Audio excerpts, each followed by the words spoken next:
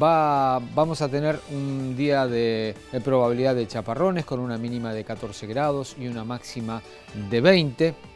La probabilidad de chaparrones va increciendo a medida que se va acercando eh, este eh, viernes, eh, porque recordamos, lluvia plena, según decía el pronóstico, durante el fin de semana. Y vamos a ver cómo se va a comportar el fin de semana. Sábado ya con lluvia, como decíamos, el pronóstico dice 19 de máxima, 16 de mínima, sube un poquitito la mínima apenas, pero igual se siente frío eh, porque en esas temperaturas por debajo de los 20 grados ya se siente que está un poco más fresco el ambiente.